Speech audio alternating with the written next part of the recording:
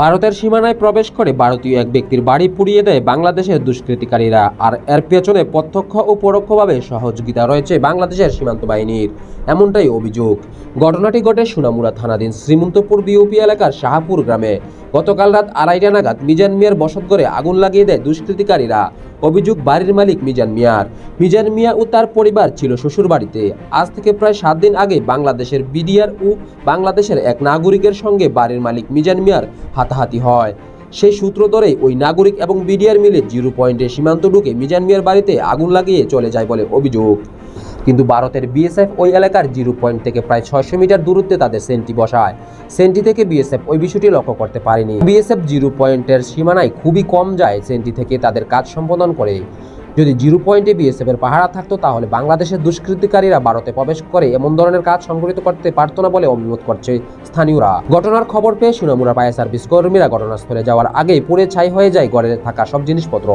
ক্ষয়ক্ষতির পরিমাণ প্রায় পাঁচ লক্ষাধিক টাকা বলে জানা যায়। আমার দাবাত দিছিল, আমার শ্বশুর ভাই আমি আর আমার ফ্যামিলি শ্বশুর ভাই গেছি রাত্রে দাবাত খাইতাম দাঁত খাই আর বাড়িতে আইসি না। রাত্রে দুইটা, আড়াইটা বাজবো এই টাইমে বাংলাদেশ থেকে দুই ঘণ্টা লোক আইসি এই পিলার জিরো ঘণ্টা পিলার গোড়াতে রাখছি এখন বাইকটা রাখিয়া বিজবি সামনে দিয়া। আইয়া আমার ঘরে আগুন ধরা দিয়া, আবার বিজবি সামনে দিয়ে নামিয়া সোজা দিয়ে গেছি রাতের বাজে আড়াইটা। বিজিবির টাকা দিছে বলে তারা খবর হলো বিশ হাজার না তিরিশ হাজার টাকা বিজিবির টাকা দিছে। মানে বাংলাদেশ থেকে হ্যাঁ, হ্যাঁ, হ্যাঁ।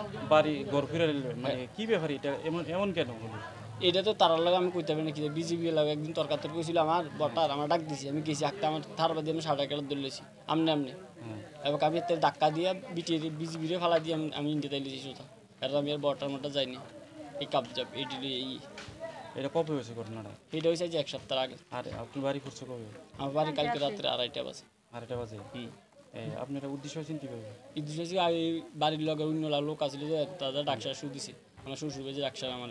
তাদের উচ্চ একটা ঘুমতে দুমুরে এই অবস্থা উঠে যেতেছে ফায়ার সার্ভিস আছে। আইয়া কিচ্ছু নিয়ে পেতে পারি না একটা এক্সারসাইজ গেঞ্জি ইউনিয়ন বাস দিতে পারি না কিচ্ছু। সব উড়ে গেছে। এই জায়গাটার নাম কি? শাহপুর এটা কোন পঞ্চায়েত এন্টার আছে এটা সৌভাগ্য পঞ্চায়েত। সুবাপুর হ্যাঁ? ওয়ার্ড নম্বর কত? ছয় নম্বর ওয়ার্ড। সাথে মানে ক্ষয়ক্ষতির পরিমাণটা কত হইব? কত? পাঁচশো লাখ টাকা মতো নেব। এখন কি চাইতেছেন আপনি?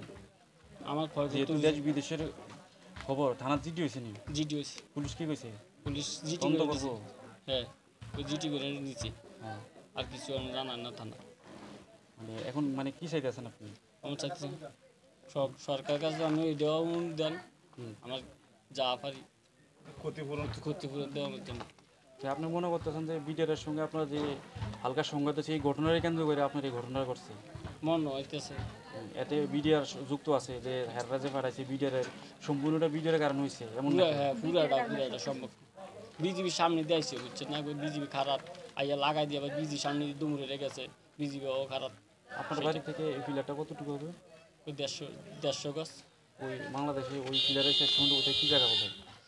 পিলারে পিলারের যে মানে বাংলাদেশের কি জায়গা বলে? ওইটা শাহপুর। শাহপুর হ্যাঁ? হ্যাঁ, বাংলাদেশ শাহপুর এটা ইন্ডিয়ান শাহপুর। যে এমনি কোনো এই দেশের এই দেশের আর বাংলাদেশের মধ্যে সুসম্পর্ক আছে নি হ্যাঁ। সুসম্পর্ক থাকাকালীন এই অবস্থা হয়েছে? জি।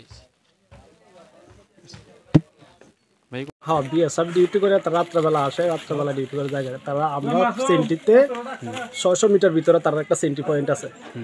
কিন্তু তারা দেড়শো গজায় ডিউটি করে না জিরো পয়েন্টে ডিউটি করে না। তারা দেড়শো মিটার ছয়শো মিটার ভিতরে তারা সেন্টি পোস্ট আছে ওইখানে তারা ডিউটি করে। কিন্তু আমরা সেন্টি বর্ডার পয়েন্টের সাথে আমরা আসি প্রায় দেড়শো ফ্যামিলি থেকে ফ্যামিলি প্রায় ছশো লোক আমরা এখানে বাস করি। তো দেখা গেছে কি তা বিগত কিছুদিন আগেও আমরা একটা ছেলে, তারা পাবলিক একটা লোকে, বাংলাদেশের একটা লোকে লয়ে গেছে গা। এটা বিটিআর মারফতে হেরে আপনার বাংলাদেশের জামিন টান দিয়ে দিছে আর কি। আপনার বড়ি দিয়া আপনার হেরে ইতান করে দিছে। সালাম দিয়ে দিছে।